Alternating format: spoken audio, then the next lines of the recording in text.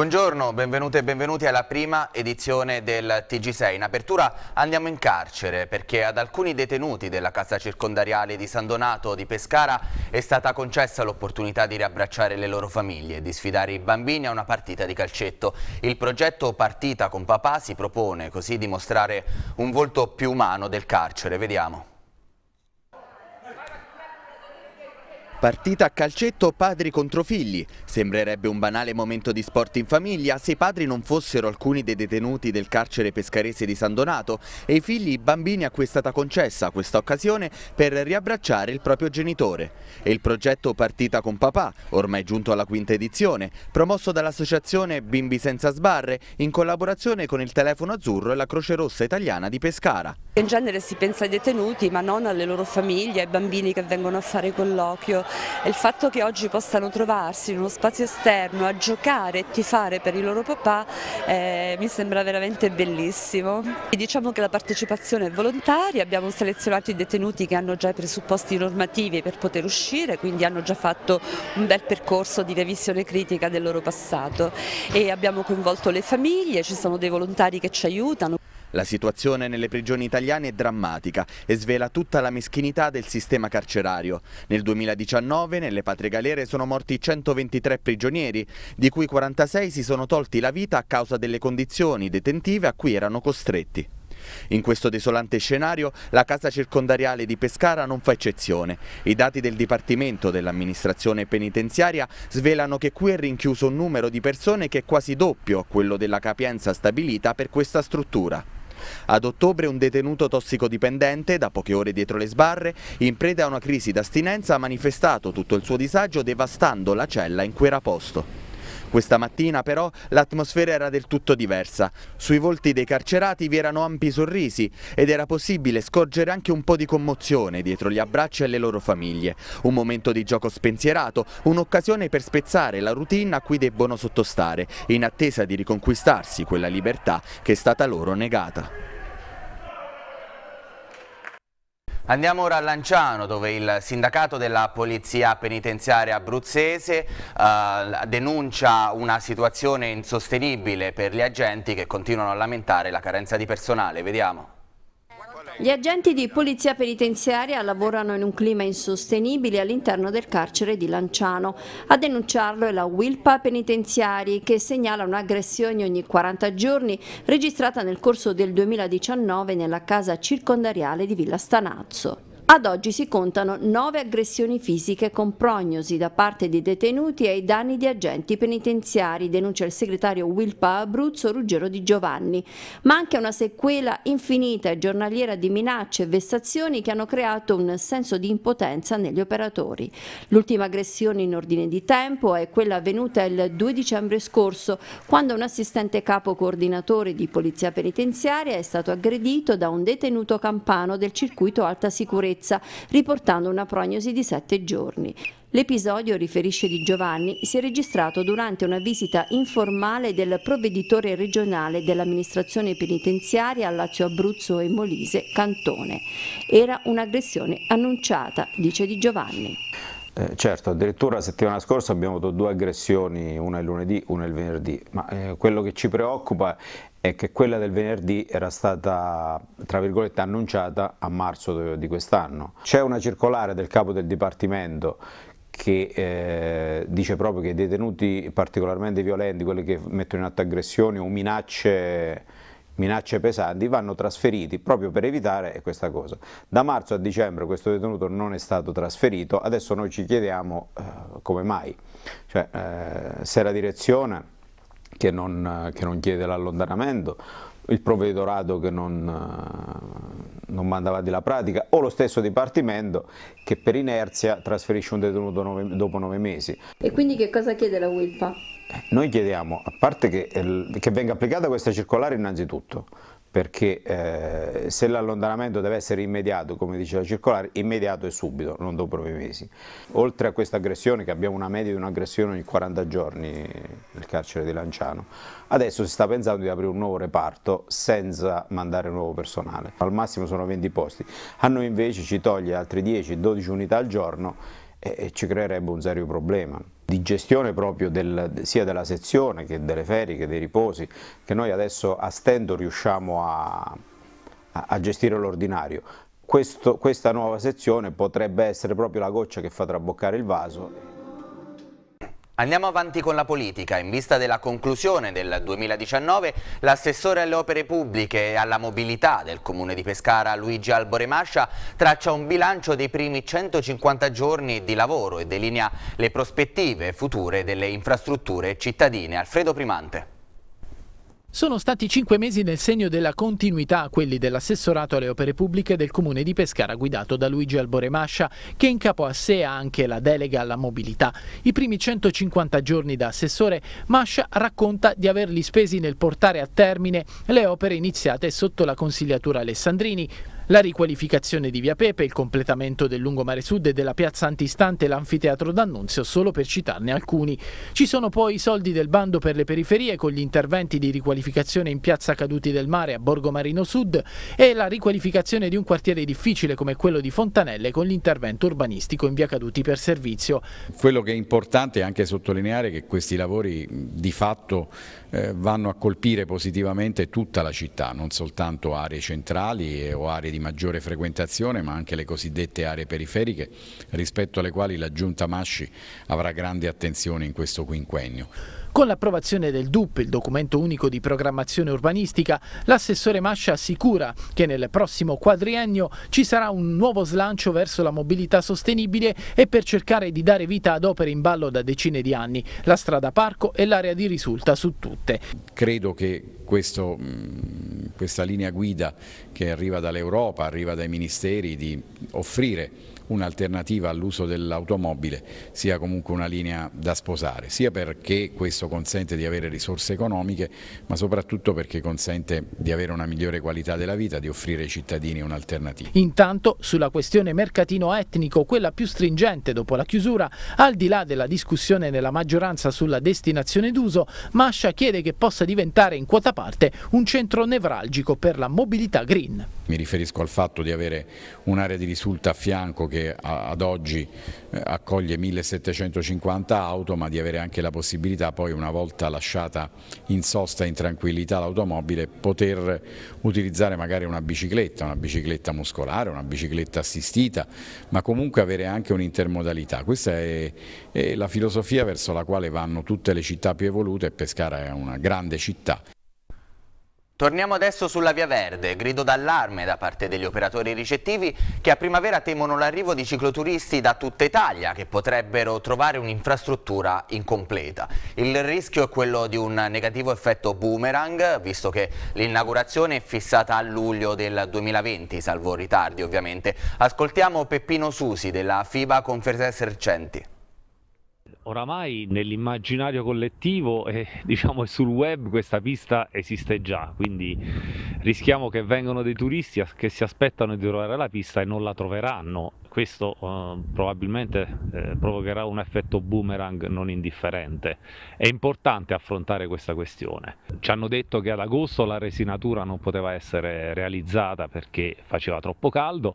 Immagino che d'inverno non si possa fare perché fa troppo freddo, mm, troveranno un momento per, eh, per terminare la pista, però al di là eh, dell'ironia e degli scherzi è necessario che comunque i tratti che, sono, eh, che è possibile aprire vengano aperti al più presto, è necessario che si stabilisca una concertazione tra tutti gli enti interessati affinché si cominci ad immaginare che questa è un'infrastruttura tu eh, turistica, non è semplicemente una striscia d'asfalto. Su quello che dovrà essere la, eh, la via verde, sulle opportunità che può offrire, sui servizi che deve offrire, che si devono costruire all'intorno al, intorno a questa via verde, non ancora iniziamo a parlarne. È importante che la politica trovi un momento per trovarsi insieme e per eh, cercare di ragionare su queste cose. Vi raccontiamo ora un fatto eccezionale perché dei lupi si sono spinti fino al centro abitato di eh, Canosa Sannita in provincia di Chieti. A raccontarcelo c'è collegato con noi il sindaco eh, Lorenzo Di Sario. Buongiorno sindaco. Buongiorno. Bene, allora eh, sono eh, giunti dei lupi fin fino nel centro del suo paese. Sì, precisamente. Sono mm, arrivati due lupacchiotti, la cosa risale a tre giorni fa e attualmente eh, si trovano ancora lì perché sono tre sere di seguito che ci fanno visita e li vediamo comodamente passeggiare per le vie del centro. Comunque io ho provveduto ad avvisare tutte le autorità competenti, eh, non è che ci sia un allarmismo, la popolazione è stata avvisata e comunque stiamo prendendo tutti i provvedimenti del caso. Bene, è un, un, fatto che appunto ora è in eh, sicurezza, non ci sono pericoli, rimane solo una curiosità eh, molto affascinante della, della, natura del nostro territorio. Grazie al sindaco di Canosa Sannita Lorenzo Di Sario e andiamo avanti ora col nostro telegiornale. Eh, novità assoluta presso l'ospedale San Massimo di Penne dove per la prima volta è stato effettuato un intervento di protesi al ginocchio con l'aiuto di un sistema computerizzato. La soddisfazione nelle parole del dottor Palmieri, responsabile del reparto di artroscopia e traumatologia del nosocomio Vestino. Novità assoluta presso l'unità operativa di artroscopia e traumatologia dell'ospedale di Penne diretta dal dottor Domenico Palmieri, che dopo aver affinato la tecnica a Lione in Francia, per la prima volta ha eseguito un intervento di protesi di ginocchio assistito da un sistema computerizzato optoelettronico definito navigatore. Il sistema di navigazione consente la ricostruzione geometrica e tridimensionale del ginocchio da operare e trasmette in tempo reale al chirurgo informazioni su come si sta eseguendo l'intervento chirurgico al fine di ottenere una precisione ottimale del gesto operatorio. Questa volta abbiamo voluto utilizzare un sistema di navigazione, cioè una sorta di computer che durante l'intervento ci guida in quello che noi facciamo normalmente proprio con l'ausilio di questo sistema. È un intervento che sicuramente richiede qualche tempo in più nel gesto chirurgico, eh, però ci permette di dare una eh, precisione nell'impianto che a sua volta sfocerà con un'affidabilità e una durata dell'impianto stesso nel tempo maggiore rispetto a quello che normalmente eh, si fa eh, solo con l'ausilio delle normali strumentazioni. Il navigatore dunque non va a sostituire il chirurgo, bensì lo supporta nella fase dell'intervento, specialmente nelle incisioni di precisione, compensando la mancanza di visibilità nelle mini incisioni della cute e dei tessuti articolari. C'è appunto questo computer, questo software col quale ci confrontiamo ogni istante per vedere al millesimo e al centesimo di grado quello che noi stiamo facendo e come lo stiamo posizionando. Noi vorremmo continuare a fare le nostre protesi di ginocchio, quindi non solo oggi, eh, con questo tipo di sistema, quindi ehm, cercheremo di standardizzarlo e di usare per tutte le volte che facciamo una protesi di ginocchio un sistema di navigazione. L'intervento è riuscito perfettamente, con la grande soddisfazione del dottor Palmieri e della sua equip. È ancora motivo più di orgoglio perché lavoriamo in un ospedale tra virgolette piccolo, eh, però dove col tempo um, stiamo facendo delle cose carine e interessanti. La cosa appunto più importante è che tutta la comunità uh, vestina risponde veramente bene, quindi io sono accerchiato da tanta gente che fa il tifo per l'ospedale, che sostiene l'ortopedia e soprattutto il grande sostegno dell'azienda in cui lavoro che per me è il primo motivo di orgoglio. Si è tenuto questa mattina all'Università di Teramo un convegno su nuove droghe e dipendenza. Le scoperte dei ricercatori della Facoltà Teramana di Bioscienze hanno fatto il giro del mondo. In prima linea anche la diocesi di Teramo Atri. Ascoltiamo Tania Bonici Castelli. Le nuove droghe fanno paura ed è necessario che i più giovani ne conoscano composizione e pericoli. La dipendenza o la tendenza ad esserlo la si potrebbe riconoscere precocemente da alcuni stili di vita. Sono ricerche importanti queste, realizzate dalla Facoltà di Bioscienze dell'Università di Teramo, studi che hanno fatto il giro del mondo. C'è una interrelazione stretta tra per esempio le dipendenze create anche dall'IT, quindi dal cellulare, dallo smartphone, dall'uso compulsivo di Facebook piuttosto che Instagram e altri social network. E questa diciamo, possibilità di alimentarsi troppo con il cibo può portare anche all'uso di, di droghe, quindi Diciamo che ci sono eh, dei campanelli di allarme che devono essere messi bene in evidenza, soprattutto nei giovani. La facoltà di bioscienza ha una potenza di fuoco di chimica analitica enorme, noi collaboriamo anche con la polizia scientifica in questo ambito, per il riconoscimento di nuove droghe. Hm? quindi di nuove molecole che ahimè sono sintetiche e sono eh, commercializzate da, questi, da queste, diciamo, eh, ovviamente eh, la mafia, da queste, da queste associazioni a delinquere e queste nuove droghe sono forse tra le più pericolose. I risultati sulle nuove droghe e sui meccanismi delle dipendenze sono stati ampiamente illustrati nell'aula magna dell'Università di Teramo dai ricercatori teramani agli studenti delle scuole superiori, uno degli incontri previsti dal progetto Craino che mira al coinvolgimento delle generazioni più giovani. All'iniziativa è intervenuta anche la diocesi di Teramo Atri, impegnata in prima linea contro le tossicodipendenze. Una diocesi, in questo caso la diocesi di Teramo Atri, come può o come aiuta concretamente i ragazzi affetti da dipendenza?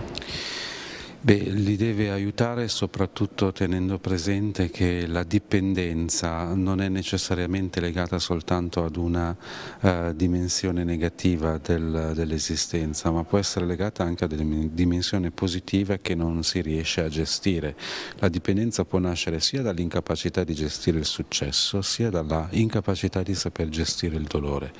E di conseguenza la diocesi ha uh, il compito fondamentale di educare questa nuova generazione ad affrontare l'esistenza, alla capacità di affrontare sia il dolore e alla capacità di saper gestire eventualmente il successo che uno meritevolmente attraverso la sua preparazione, le sue capacità può ottenere nella, nella sua vita.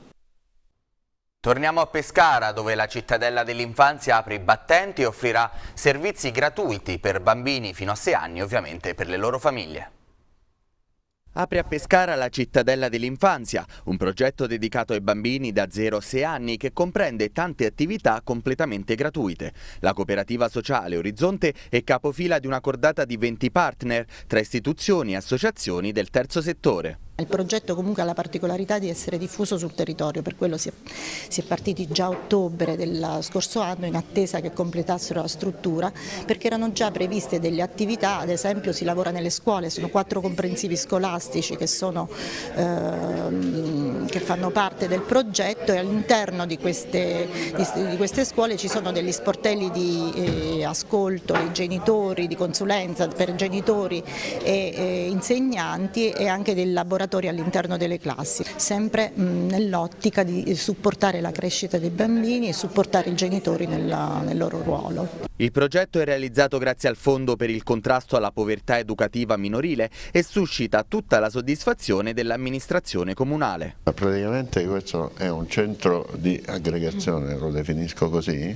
dove noi come amministrazione comunale ci siamo adoperati molto per far sì che questa struttura avesse luogo e inizio. Il Comune è molto sensibile a queste iniziative e noi ci auspichiamo di avere altre iniziative come queste perché eh, soprattutto quando si parla di infanzia e di bambini con eh, un disagio sociale, eh, è giusto eh, stargli vicino e dare loro una mano, sia loro che i loro genitori. Per noi è molto importante perché eh, è bello vedere che anche questi bambini meno eh, felici possano trovare in questi luoghi eh, un po' di eh, felicità insieme agli altri bambini, insieme agli insegnanti che li seguono e li portano avanti nel loro percorso formativo. Povertà in forte aumento in provincia di Teramo. La Fondazione Tercas ha così deciso di sostenere circa 800 famiglie bisognose in occasione del Natale. Saranno destinati loro buoni spesa per l'acquisto di beni di prima necessità. Vediamo il servizio. L'ultimo rapporto della Caritas diocesana di Teramo Atri, relativo al 2018, ha evidenziato quanto la povertà abbia inciso notevolmente sulla popolazione teramana. La Fondazione Tercas, da sempre impegnata nel sostegno del sociale, ha pensato in occasione delle imminenti festività natalizie ad un aiuto diretto ed immediato a persone e famiglie in difficoltà economica. Proprio a loro saranno consegnati in coordinamento con la Caritas diocesana, il Banco di Solidarietà Onlus, i gruppi gruppi di volontariato vincenziano e il supermercato Conad di Villa Mosca di Teramo buoni spesa per l'acquisto di beni di prima necessità. Saranno circa 800 i nuclei familiari che potranno avvalersi di questo dono che la Fondazione offre loro perché possano festeggiare più serenamente il Natale. Il Presidente Gianfranco Mancini ringrazia tutti coloro che si sono lasciati coinvolgere offrendo il loro volontariato e il loro prezioso contributo per garantire la migliore riuscita dell'iniziativa. La vicinanza e l'impegno a prendersi cura di chi è meno fortunato non deve venire mai meno, ha poi sottolineato il Presidente Mancini, tanto più da parte della Fondazione Tercas, pur nella consapevolezza che per contrastare il problema della povertà è necessario attivare nuove politiche di welfare. Ed è arrivata copiosa la neve sulle montagne abruzzesi, eh, anche se non ancora in quantità tale da consentire l'apertura delle piste in tutti i comprensori eh, sciistici. Sul Gran Sasso, a Campo Imperatore, questa mattina cielo sereno, temperatura a meno 6 gradi, vento forte, in funzione la funivia anche eh, da eh, Fonte Cerreto eh, che conduce a quota 2200 metri. Al momento la scarsità del manto nevoso non consente, come abbiamo detto, l'apertura delle piste. Le temperature temperature minime più basse sono state registrate in località Piani di Pezza, nel territorio del comune di Rocca di Mezzo, in provincia dell'Aquila, ben meno 10 gradi centigradi alle 8.05 e sul Monte Genzana meno 7,3 gradi. Siamo così giunti alla pagina sportiva del nostro telegiornale che apriamo come di, come di consueto con la Serie B. Seduta pomeridiana per il Pescara per la gara di sabato a Frosinone, il tecnico Luciano Zauri non recupera Fiorillo e potrebbe dover rinunciare anche a Brunori a causa di una distorsione alla caviglia. Del rendimento della squadra ieri ha parlato anche l'ex allenatore Giovanni Galeone. Ascoltiamolo nel servizio. Pescara indecifrabile. La lettura essenziale e incisiva è quella del Gale, una visita di cortesia all'amico Andrea Iaconi al Bonolis di Teramo, poi Giovanni Galeone non si tira indietro quando si tratta di parlare di calcio e più in particolare del suo Pescara. Ancora non riesco a individuarla, l'ho vista giocare dei momenti buoni, per esempio i primi 20 minuti con il Perugia dove ero stato invitato dal Perugia a vederla, non ce la faccio, e, però dopo non, non riesco ancora a capirla. Gioca bene 20 minuti, è indecifrabile. Vedi Venezia 2-0, partita finita, ma alla fine avrebbe dovuto perderla. Una squadra non può dare 4 gol al Benevento che ha subito in tutto 7 gol. Gli dà 4 gol al Benevento e perde con la Juve Stabia in casa cioè è una squadra un po' indecifrabile, non riesco a capirla molto bene. Pescara che continua a preparare la trasferta di sabato a Frosinone, ci sarà ancora da attendere per il rientro di Vincenzo Fiorillo che non ce la fa per il match dello Stirpe dove toccherà ancora castrati anche se giungono spifferi di mercato che vogliono il Pescara essere interessato. All'esperto Federico Marchetti sotto contratto col Genoa ma finito fuori dai radar del tecnico Tiago Motta e del predecessore Andrea Azzoli. Un interesse nato dalle incertezze di castrati anche se resta il dubbio di quale possa essere la gerarchia tra i pali in caso di un effettivo arrivo arrivo dell'ex Cagliari e Lazio e di guarigione di Fiorillo, che del Pescara è anche leader e capitano. Intanto il tecnico Zauri sarà quasi certamente privo di Brunori, vittima di una distorsione alla caviglia, e spera di recuperare un acciaccato Scognamiglio, viste le condizioni già precarie di Campagnaro e Drudi.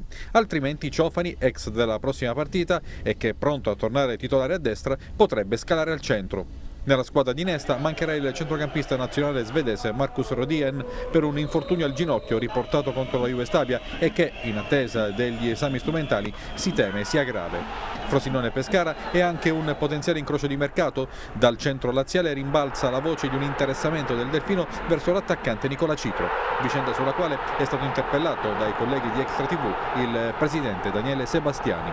Noi in questo momento non stiamo assolutamente pensando al mercato, ve lo assicuro. Tutto quello che esce fuori non è farina del nostro sacco e soprattutto per carità non eh, metto in discussione i nomi o i giocatori perché sono giocatori il fatto che Citro sia Frosinone vuol dire che, come dicevo prima, è un giocatore importante. Però noi in questo momento non stiamo pensando al mercato, stiamo pensando a queste ultime partite da qui alla fine del giro d'andata, cercando di fare il meglio possibile. Serie C, domenica il Teramo chiude il girone d'andata contro il Catania. Biancorossi a 24 punti che cercano ora il successo contro gli etnei di Cristiano Lucarelli per dare una piccola sterzata ad una prima parte di stagione che però secondo il difensore Matteo Piacentini non è stata totalmente negativa. Ascoltiamolo. La nostra chiave interna è addirittura secondo me è quella che abbiamo fatto non dico benissimo, ma neanche eh, male, cioè non è da buttare via questo girone d'andata secondo me. Eh, considerando che all'inizio abbiamo fatto magari un po' di fatica perché come sappiamo c'è la squadra nuova, non ci conoscevamo, abbiamo avuto un po' di, magari di problemi, ma ci siamo eh, ci messi diciamo, a posto velocemente e abbiamo fatto una buona fase centrale e adesso anche se mancano da un po' i tre punti abbiamo fatto secondo me delle buone prestazioni. Sulla carta ci dice che queste le prime cinque hanno preso il via e stanno facendo veramente tanti punti e noi dobbiamo provare in, tutte, in tutti i modi a stare, a stare, dietro a queste grandi squadre. E I playoff ovviamente eh, noi dobbiamo fare, quello, dobbiamo fare il massimo che nelle nostre possibilità fare però il playoff credo che sia obiettivo fattibile. Noi in tutte le partite proviamo a, a portare i punti, più punti possibili a casa. Da cambiare non sta a me dire se c'è qualcosa da cambiare o dove dobbiamo cambiare qualcosa, eh, perché secondo me è nel compito de, del mister dire certe cose però secondo me impegnandoci al massimo possiamo ottenere risultati importanti in queste ultime due partite, l'ultima di andata e prima di ritorno, prima della sosta, eh, anche se come ha detto lei sono partite sulla carta difficili perché sono squadre rinomate. E abbiamo lavorato secondo me molto bene, ma nel complessivo non solo linea difensiva, eh, ma tutta la squadra, che ha fatto sì che a noi difensori di ruolo non, sia, non siano arrivati tutti questi pericoli. Diciamo. Ah, sono molto felice appunto per questo fatto che ho giocato tutte le partite eh, titola eh, da titolare per ora. Eh, ho giocato sicuramente partite eh, buone e alcune meno buone, però felice di, della fiducia che il mister eh, mi sta dando. Mentalmente sicuramente non è è facilissimo eh, da accettare, però stiamo cercando di lavorare per eh, raggiungere questi tre punti eh, che mancano appunto da parecchio. Però secondo me se continuiamo così, lavorando settimana dopo settimana con impegno come facciamo durante la settimana, eh, riusciamo a raggiungere questo obiettivo importante. Questa era l'ultima notizia, la nostra edizione del TG6 si conclude qui, tutti quanti i servizi li potete recuperare sul canale YouTube oppure sul sito www.tv6.it. Io vi ricordo che l'informazione torna questa sera alle 19, grazie e buon pomeriggio.